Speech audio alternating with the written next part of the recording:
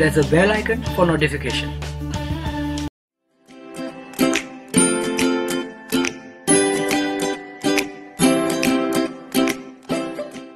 धारा 370 भारतीय संविधान की ऐसी धारा है जो कभी न कभी खबरों में हमेशा बनी रहती है इस धारा का प्रावधान कश्मीर के लिए है और इस धारा के लिए सिर्फ़ और सिर्फ़ प्रथम प्रधानमंत्री पंडित जवाहरलाल नेहरू को ही दोषी ठहराया जाता है लेकिन हिस्ट्री की मिस्ट्री की इस वीडियो में हम यह देखेंगे कि नेहरू के अलावा क्या सरदार पटेल की भी इसमें कोई भूमिका थी या नहीं।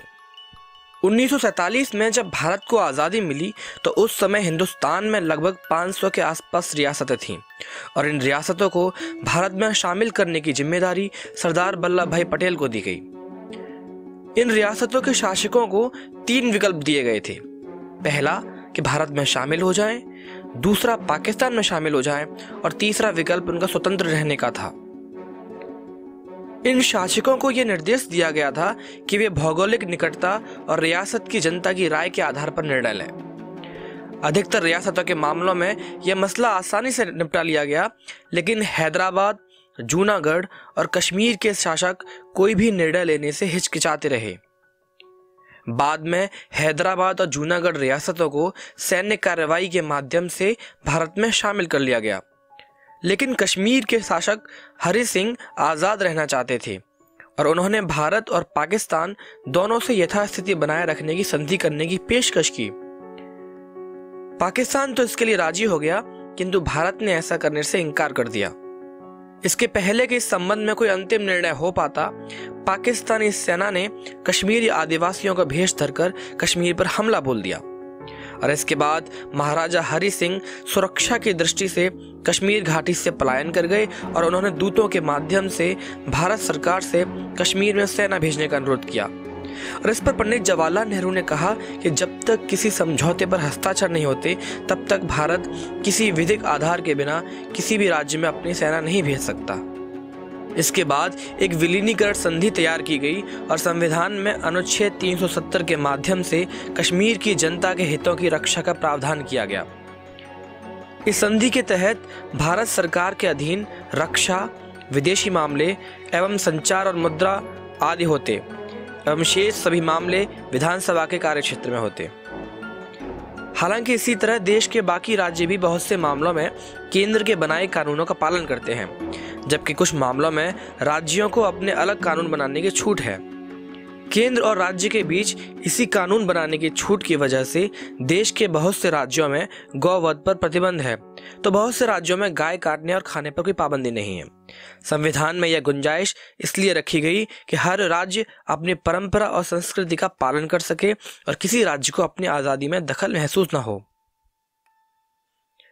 कश्मीर में यह विशेष छूट इसलिए मिली क्योंकि वह भारत में विशेष परिस्थितियों में आया और भारत में उसकी विशेष जगह है। कश्मीर को अनुच्छेद 370 की वजह से विशेष दर्जा प्राप्त है और इस विशेष दर्जे की वजह सीधे सीधे पंडित नेहरू को बताया जाता है। और आज कश्मीर के जो हालात हैं, उसका जिम्मेदार सिर्फ़ पंडित नेहरू को बताया जाता है।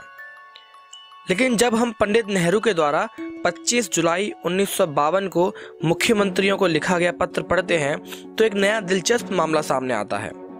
इस पत्र में नेहरू जी लिखते हैं कि जब नवंबर उन्नीस सौ उनचास में हम भारत के संविधान को अंतिम रूप दे रहे थे, तब सरदार पटेल ने इस मामले को देखा।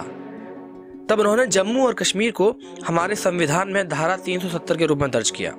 इसके अलावा 26 जनवरी 1950 को राष्ट्रपति के आदेश के माध्यम से भी इसे दर्ज किया गया।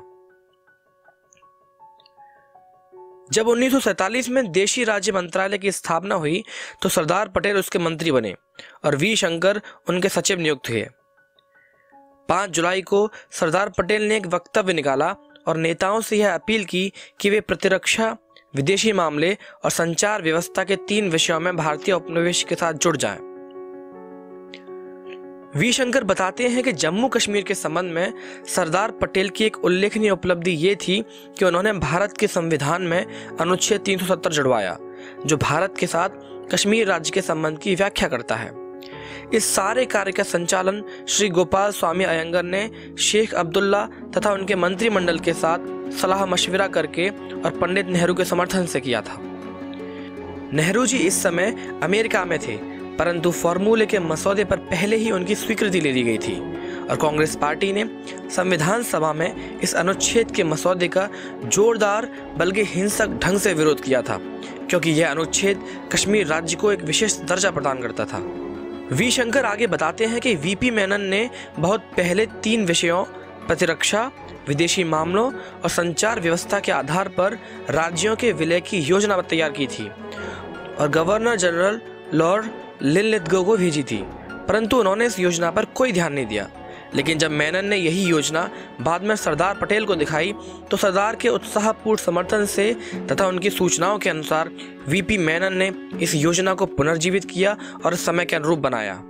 सिद्धांत की दृष्टि से कांग्रेस पार्टी की यह राय थी कि कश्मीर को मूलभूत व्यवस्थाओं अर्थात उन्हीं शर्तों के आधार पर संविधान को स्वीकार करना चाहिए, जिन शर्तों पर अन्य राज्यों ने इसे स्वीकार किया। लेकिन गोपाल स्वामी आयंगर पार्टी को यह बात नहीं समझा सके। तब उन्होंने सरदार पटेल से हस्तक्षेप की मांग की। परंतु पटेल साहब इस बात के लिए उत्सुक थे कि नेहरू जी की अनुपस्थिति में ऐसा कुछ न किया जाए जो उन्हें नीचे उतरने वाला मालूम हो। इसलिए नेहरू जी की अनुपस्थिति में सरदार पटेल ने कांग्रेस पार्टी को अपना रवैया बदलने के लिए समझाने का काम अपने हाथ में लिया और यह काम उन्होंने इतनी सफलता से किया कि संविधान सभा में अनुच्छेद 370 की बहुत चर्चा नहीं हुई और ना ही इसका विरोध हुआ। तो अगर देखा जाए तो 25 जुलाई उन्नीस सौ बावन को नेहरू के द्वारा लिखा गया पत्र अनुच्छेद 370 को लेकर जितने सवालों का समाधान करता है, उससे कहीं ज़्यादा जिज्ञासाओं को जन्म देता है। दरअसल, जो अनुच्छेद तीन सौ सत्तर लंबे समय से लोक स्मृति में नेहरू के काम के तौर पर दर्ज है, उसे असल में सरदार पटेल ने बनाया था। अगर आपको ये वीडियो पसंद आई हो तो लाइक कीजिए शेयर कीजिए और सब्सक्राइब ज़रूर कीजिएगा। और इस तरह की दिलचस्प वीडियो देखने के लिए बने रहिए हिस्ट्री की मिस्ट्री के साथ। कमेंट बॉक्स में इस तरह की और वीडियो बना सकते हो तो ज़रूर कमेंट कीजिएगा। जय हिंद।